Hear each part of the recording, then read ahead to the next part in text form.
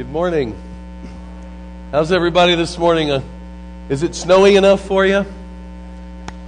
Beautiful snow outside. All right, so how many of you grandparents have ever played the peekaboo game with your grandbabies? Yeah, you know what I'm talking about, right? You, you, you hold a blanket or something in between you, your face and the baby's face, and then you go, peekaboo, and then you, you, you know, you, you cover their eyes, and then it's peekaboo. And what, you know, psychologists tell us that, that from zero to age two, um, children learn something that we call object permanence. That even though you can't see, you know, if I held something up between you and me, you know that I'm still here because of object permanence. And I wonder if we grow in that spiritually that we know, even though we can't see God at work, we know that God is still there. Sometimes we just have to seek Him when we can't find Him. And that's what we're going to be talking about today. So, I'm going to pray. After I pray, we're going to sing a song in praise of God. And while we're singing, if you want to kind of fill in these center two sections, feel free because you know we're kind of a community here so uh, feel free to kind of gravitate to these two and and we'll just worship the lord. So god thank you so much for your many blessings. God even on a on a snowy morning uh, we see telltales of your beauty and your majesty and your power. So in these moments that we share together god pour out your spirit on us that we might sense your presence here.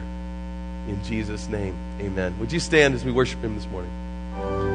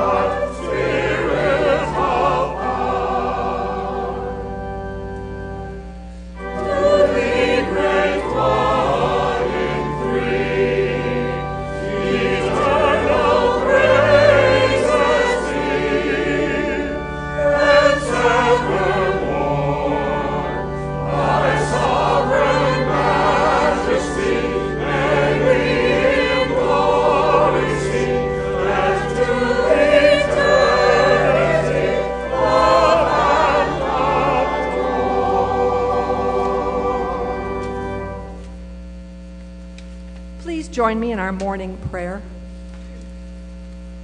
In these quiet moments this morning, dear Lord, we seek you. You have promised to meet us here, but more than that, we need you. Our broken lives are in need of healing touch, wounded heart. Our wounded hearts are in need of the restoration that only you can bring. Our feeble minds are in need of revelation from you, our great teacher. Our troubled souls are longing for the peace that only you can offer. As we seek you, let us find you. Pour out your Holy Spirit upon us and empower us to be more faithful followers of Jesus. In his name we pray. Amen. You may be seated. Our scripture this morning comes from the book of Luke, chapter 11, verses 5 through 13. Perseverance in prayer. And he said to them, Suppose one of you has a friend, and you go to him at midnight and say to him, Friend, lend me three loaves of bread, for a friend of mine has arrived, and I have nothing to set before him. And he answers from within, Do not bother me. The door has already been locked, and my children are in with me in bed. I cannot get up and give you anything. I tell you, even though he will not get up and give him anything because he is his friend. At least because of his persistence, he will get up and give him whatever he needs. So I say to you ask, and it shall be given you. Search, and you will find. Knock, and the door will be opened for you.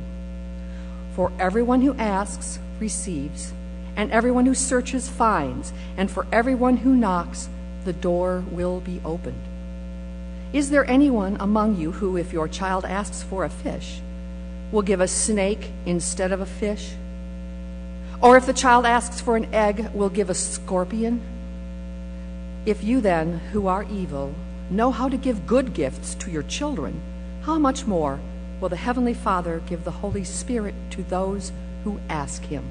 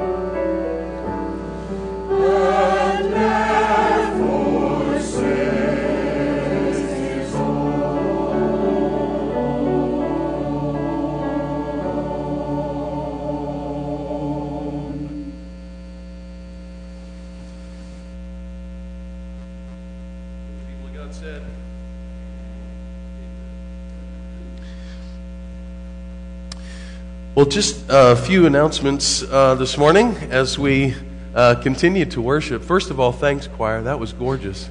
And thank you for being here.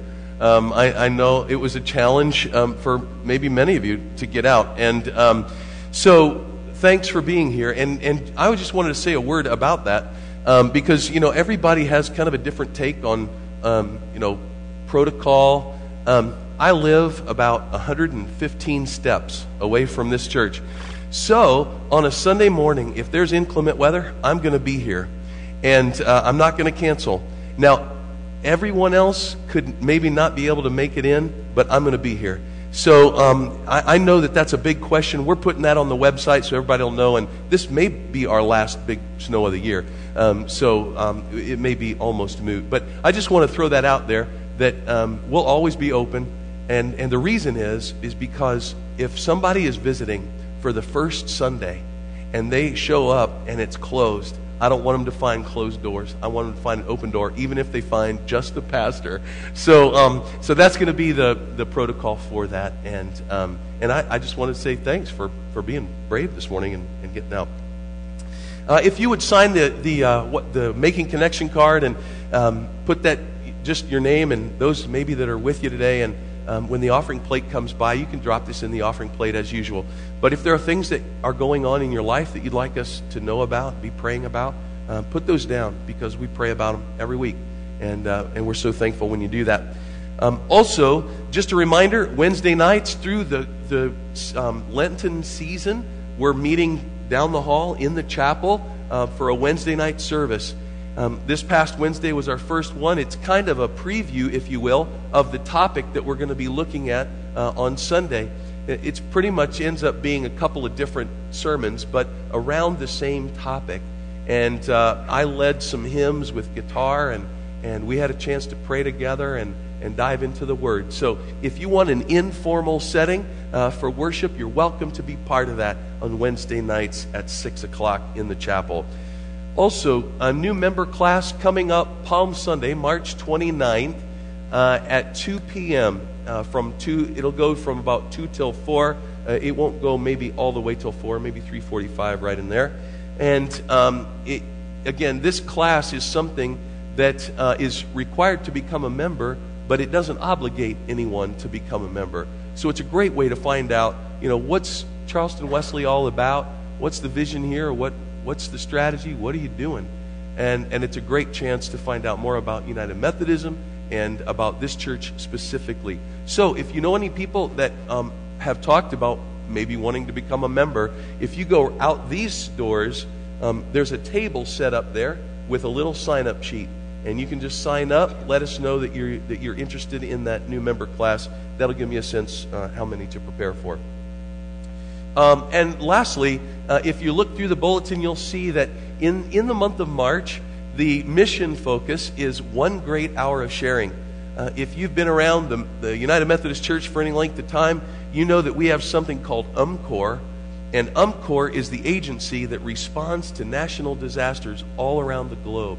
And we always say when we talk about an UMCOR offering, 100% of what's given goes to relief. There's no overhead cost. So 100 pennies out of your dollar go to providing relief, which is awesome.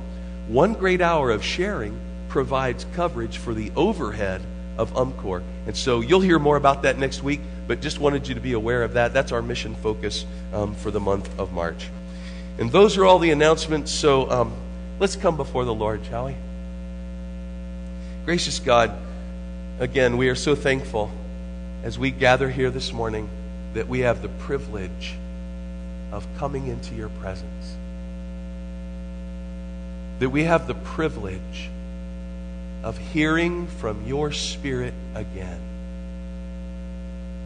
That we have the privilege, Lord, of being together side by side as we worship you and seek your involvement in the life of this church.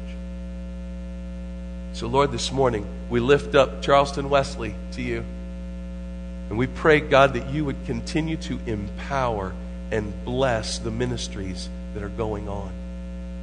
God, that you would give us fresh vision and new insight into ways that we can be the hands and feet of Jesus in this world. God, when we watch the evening news, we are constantly reminded that we live in a broken and fallen and sinful world. And so, Lord, we just pray for our brothers and sisters in Christ all around this globe who today might be fearing for their very life because simply because they put their trust in you. They have claimed the name of Jesus, and it puts them at risk. God, would you pour out your spirit and protect them and guard them? Would you raise up your church, all of us, everywhere, all around the globe, that we might be instruments of your peace, instruments of compassion and mercy wherever we go?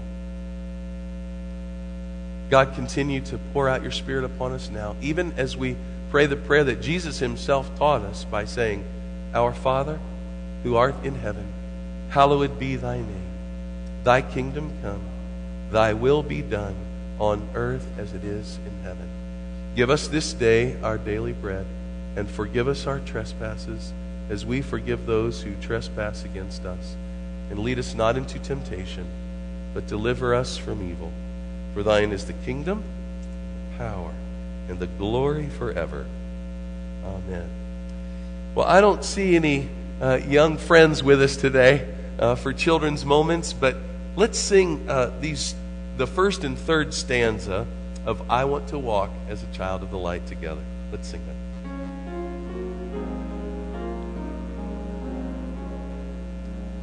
I want to walk as a child of the light. I want to follow Jesus.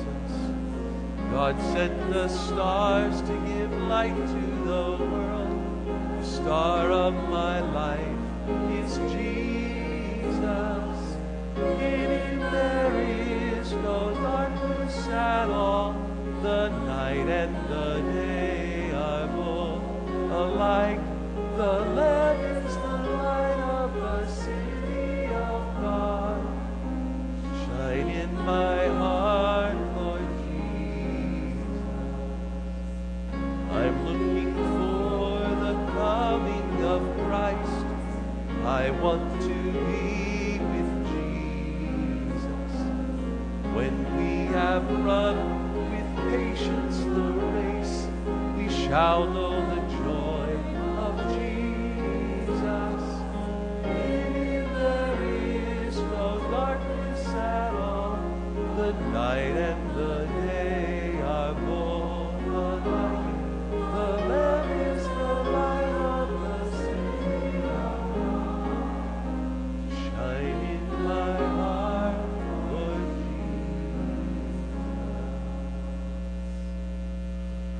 great prayer to carry with you anywhere. Well, I want to invite the ushers to prepare for the morning offering, uh, to receive it. Uh, every week, we have an opportunity to worship God through the giving of our tithes and our gifts and our offerings. And in essence, what we're doing is recognizing that God's blessed us immeasurably, and now we get to pass that blessing on. We get to pay that blessing forward. And so these gifts and offerings empower ministry uh, in this church and all around the world. So, Lord, uh, we worship you as we bring you our tithes and gifts and offerings this morning in Jesus' name.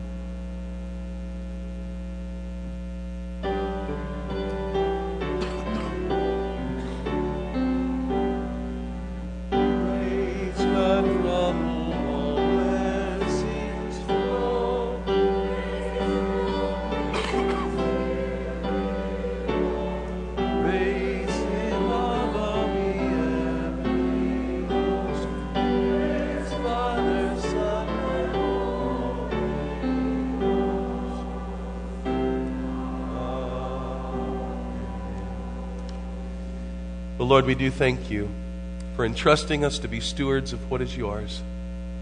So we ask that you would receive these gifts and bless them, press them down, and multiply them to the overflowing, that they would be a blessing to others in Jesus' name. Amen. You may be seated. Uh, just a reminder also, there's um, one more announcement that I forgot to, to mention is that after second service, um, we're going to have, uh, I, I, mentioned this last week, that we're going to vote on the selling of the parsonage. Um, it, the trustees have already worked through that and, and, and have already uh, done all the details, but our polity, uh, the way that we um, are structured as a United Methodist Church, uh, requires us to do this vote. So if you'd like to be part of that, we're going to do that after second service uh, for those that are here. So you're welcome to be part of that um, uh, after second service today. Well, as we um, turn to God's Word this morning, let's uh, once more come to the Lord in prayer. Gracious God, every time we open your Word, it is an opportunity to hear from you to invite your Holy Spirit to reveal something new and fresh to one of us. And if we've learned anything about following Jesus, we've learned that it's never static, but it is dynamic, always changing, always growing, if we allow it and invite it. And so, Lord, our heart's desire this morning is that you would Teach us something new of yourself. Quicken our hearts and speak to our spirits, Lord, as, as we continue to strive to follow Christ in our daily living. Illuminate your word this morning, we pray. In Christ's holy name, amen. Well, um, this we just started last week a new series looking at great invitations um, that have been extended to us by God. And our goal um, throughout the Lenten period really is to look at these invitations and how we can respond to them. Uh, some of the invitations that we face in life uh, are not very life altering, right? I mean, you get invited to birthday parties and to baby showers and to anniversary celebrations. Those really aren't going to change your life. They're fun, right? but they probably aren't going to change your life. But there are other invitations that are life altering, right? The first time one of you popped the question or the invitation, Will you marry me? Uh, that's an invitation, right? And if you pop that question, answering that invitation will literally change your life. You know, your boss says to you, Will you take that new position in Phoenix? You answer that invitation, it's going to change your life, especially if you're living in Maine, right? Moving halfway across the country to take a new position.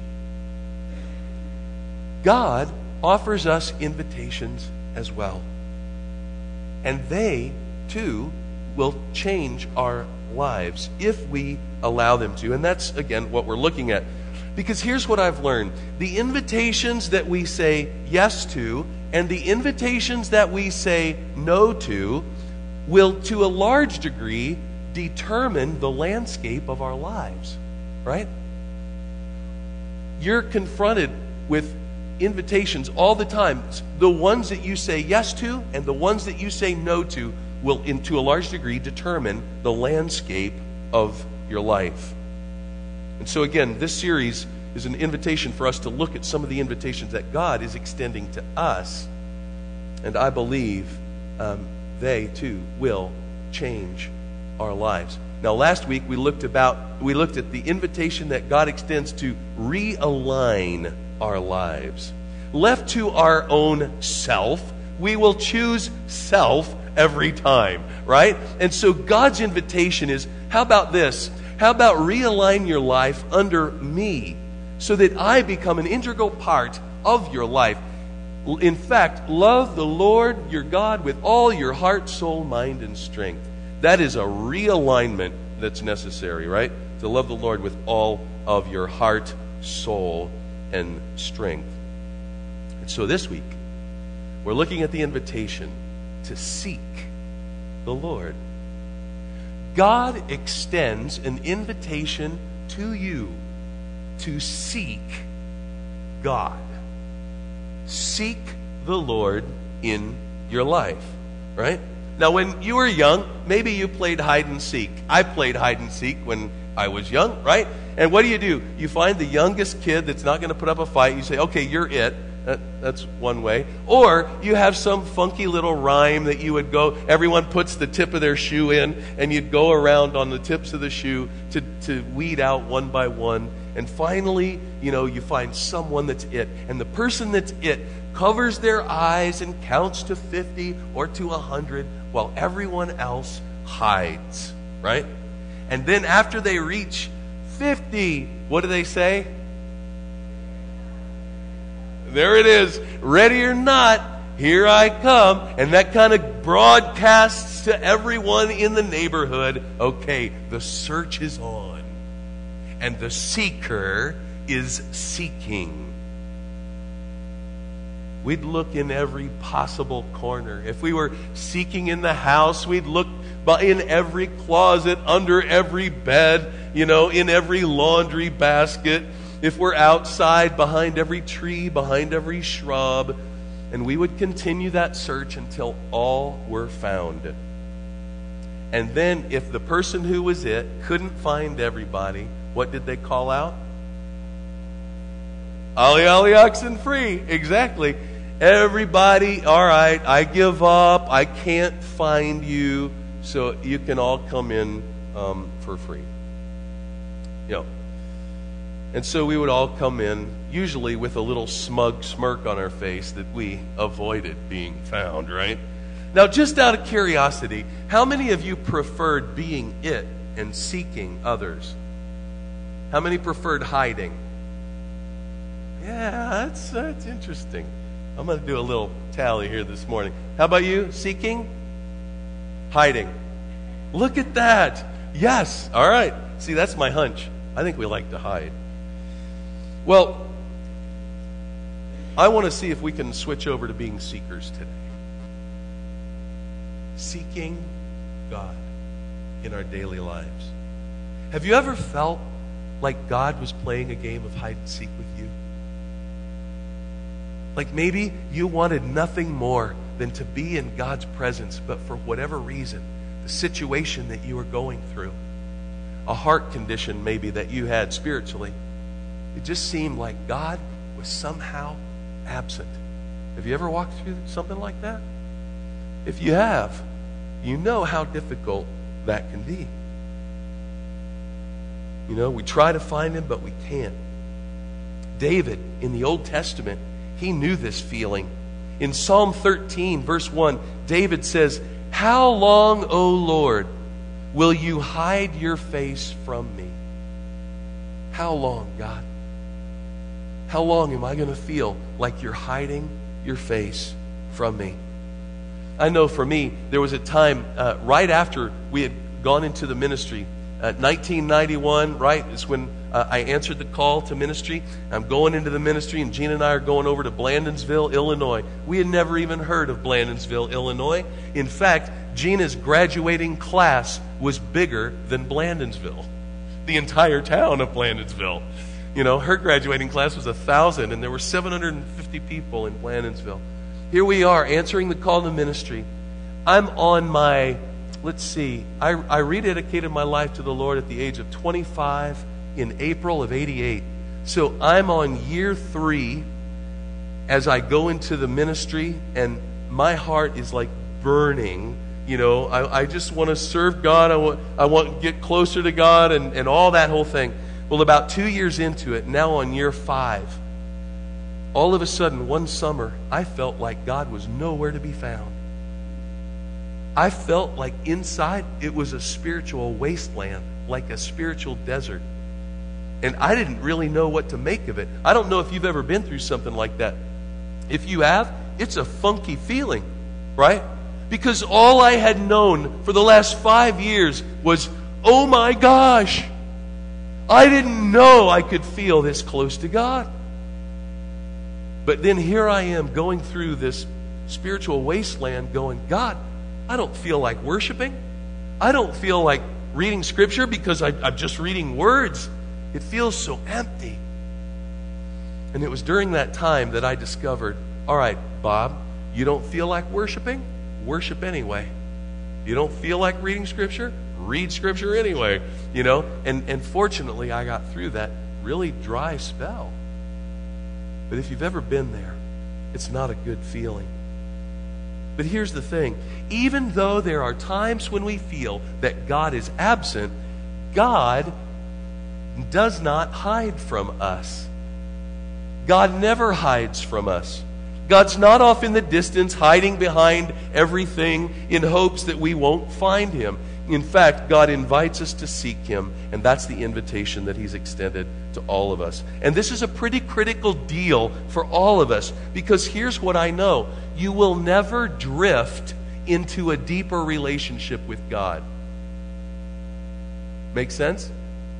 We don't just drift into a deeper relationship with God. We don't just say to God sometime, hey, God, I believe you're real, so, you know, if anything changes, let me know. You know, we're, we're not going to drift into a deeper relationship. We don't put our spiritual life on autopilot and expect to go deeper in Christ. It takes attention, it takes intention, and it takes action, and it takes perseverance, right?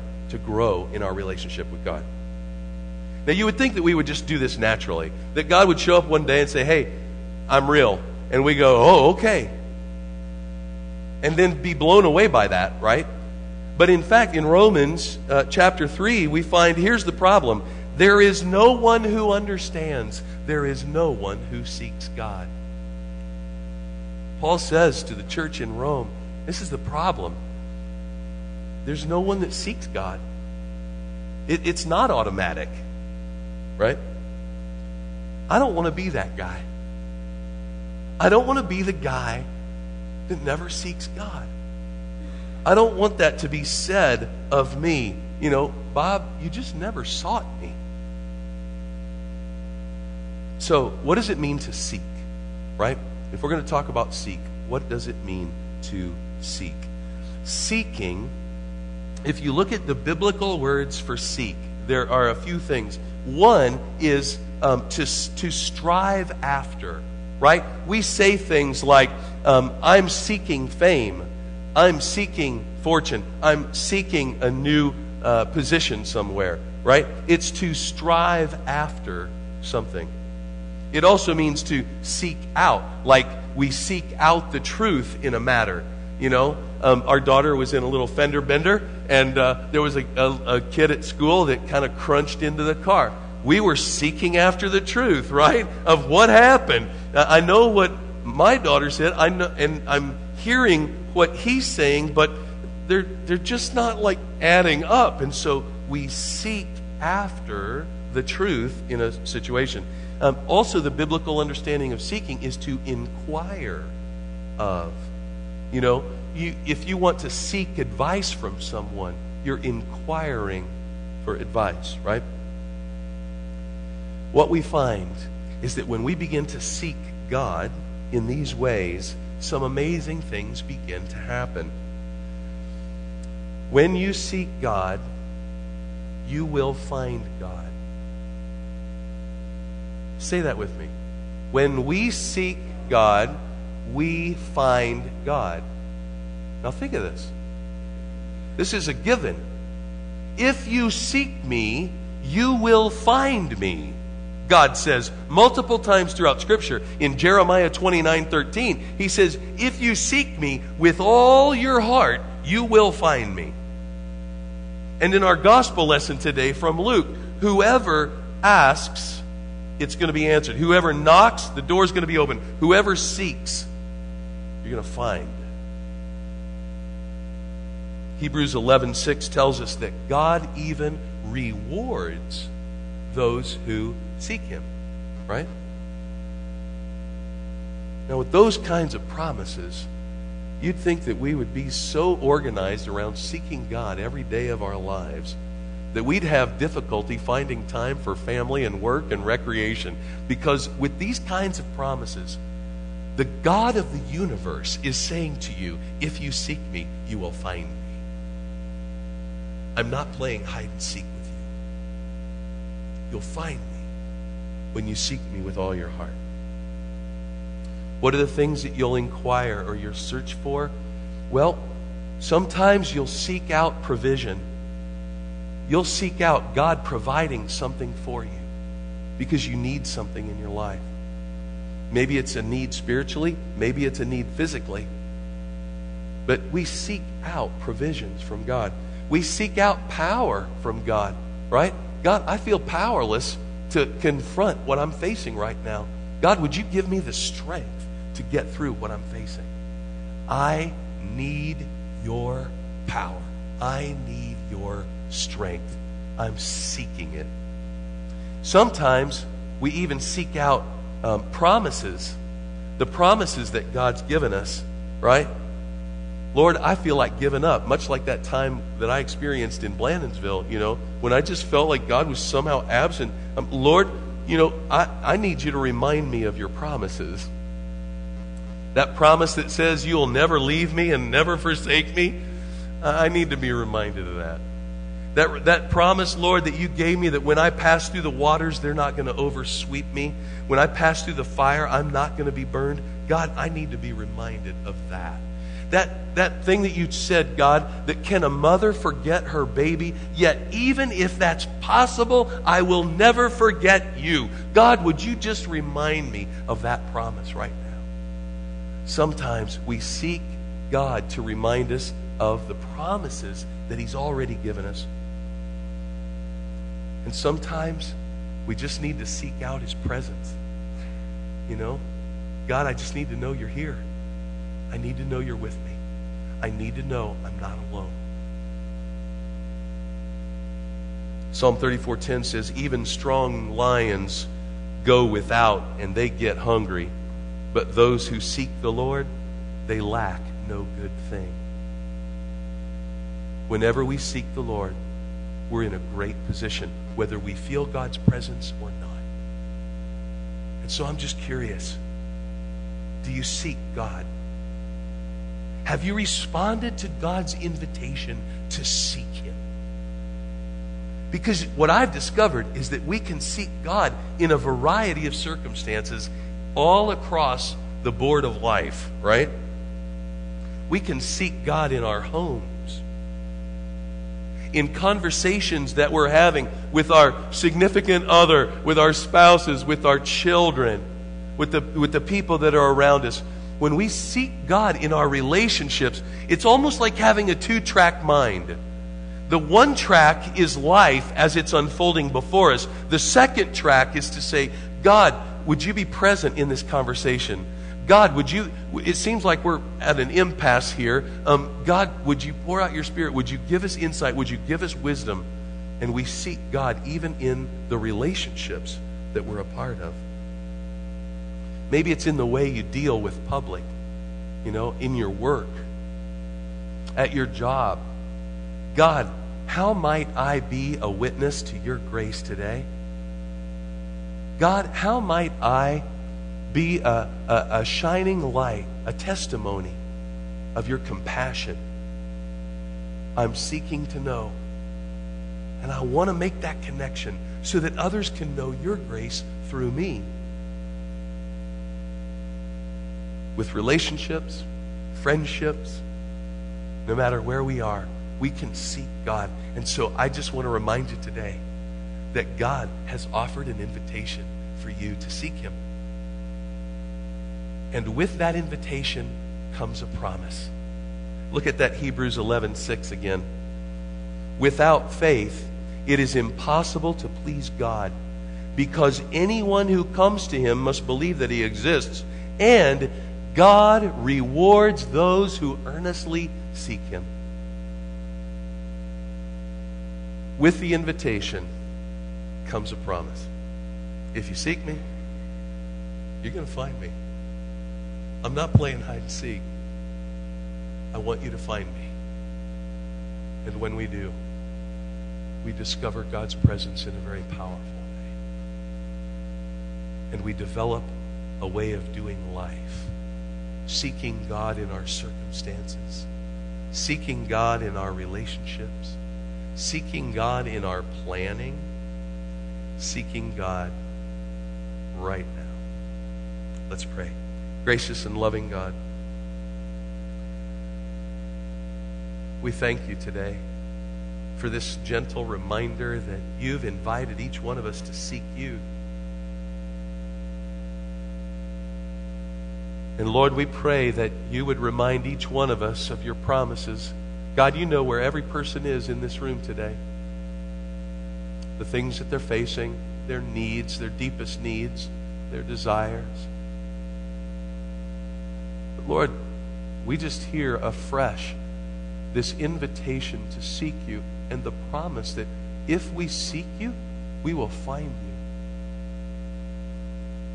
So, God, we pray that you would go with us this week.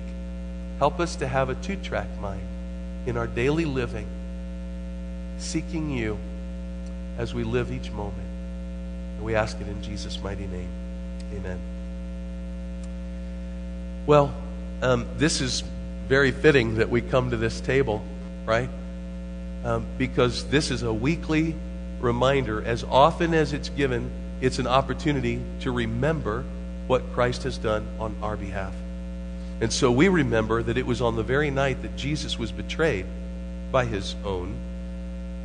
And in Luke's gospel, um, it says that you know Jesus invited his friends to this room. And Luke says Jesus looked at them and he said, I have longed to share this meal with you. And so Jesus took bread which was at every meal. And this time, he gave thanks for it, which was the custom at every meal to give thanks to the food that was provided. And Jesus gave thanks for the bread. But this time, after the blessing, Jesus took the bread and he broke it. And he said, This is my body, which is broken for you. So take and eat, all of you. And as often as you eat it, remember me. And when the supper was over, he took the cup and he gave thanks for it. But this time he said, This is my blood of the new covenant, which is poured out for you and for many for the forgiveness of sin. So take and drink, all of you. And as often as you drink it, remember me.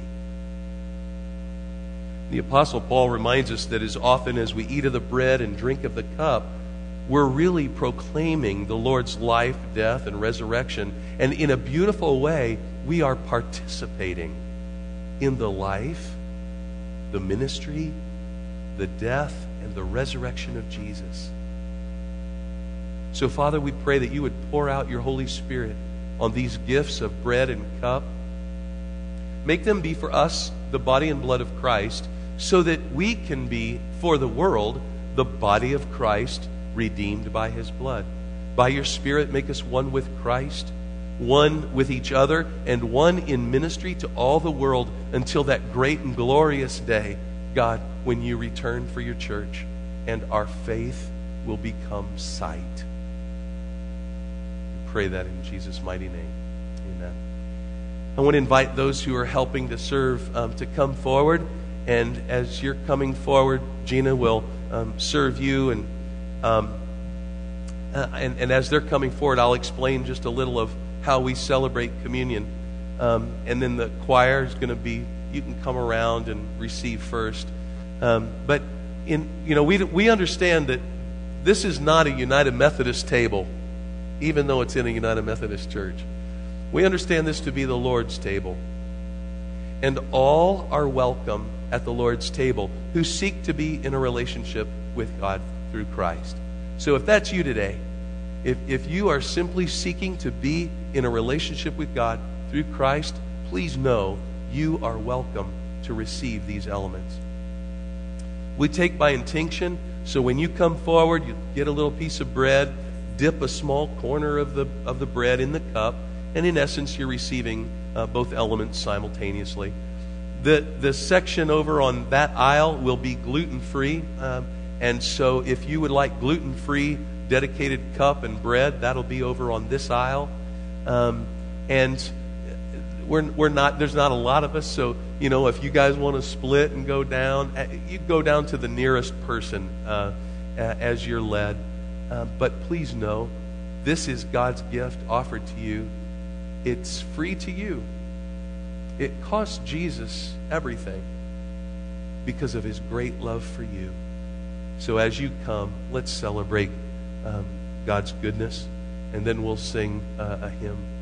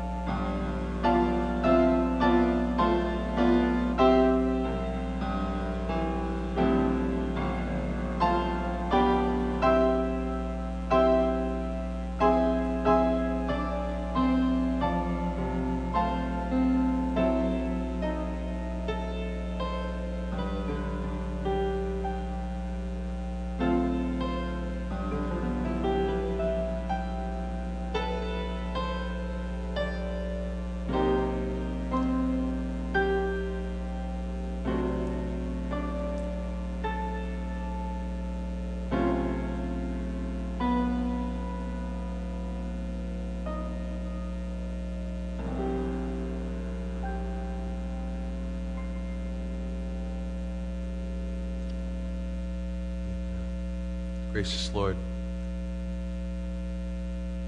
I'm reminded of the disciples realizing what they didn't have. And your response to them was, You don't have because you haven't asked. So, Lord, we seek you today, asking for your Spirit to fill us. Fill us to the overflowing so that grace and love and mercy and compassion would fill every word and action of our lives. Thank you, Lord, for this holy mystery in which you reveal yourself to us. We pray now that you would use us for the furthering of your kingdom on this earth in Jesus' name. Amen. Well, let's stand and close by singing Seek Ye First.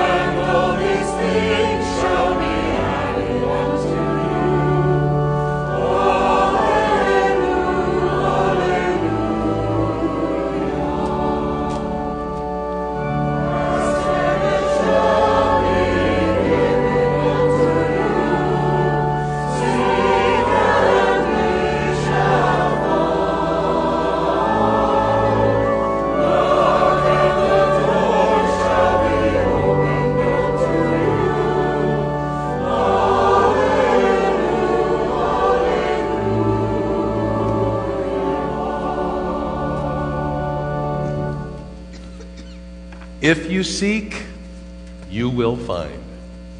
So go to seek God in your daily living and pray that God would keep your eyes open to see all the movements of His Spirit.